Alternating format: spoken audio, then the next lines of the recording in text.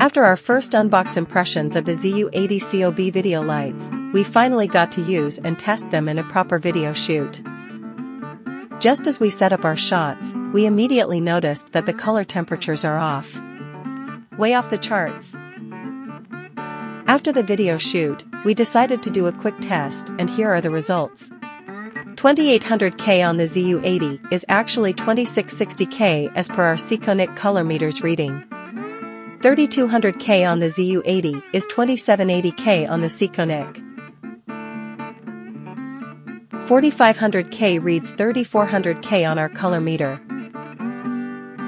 And 5600K is actually 4030K. These readouts are consistent across the light output of the ZU80 light.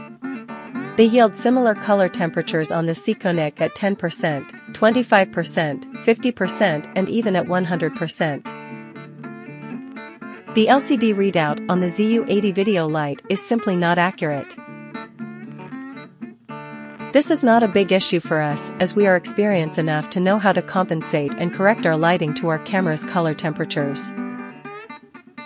It is important to take note of this color shift and inaccuracy so that we know how to dial in the correct settings. These cheap or budget China COB video lights are definitely not industry standard, but that doesn't mean that they aren't usable. One major disappointment for us is its inability to at least hit a proper 5600K for daylight balance in outdoor conditions. For us, we think that they are better warmer than cold, and luckily, there isn't a very obvious green cast like in the earlier generations of LED panels for video lighting.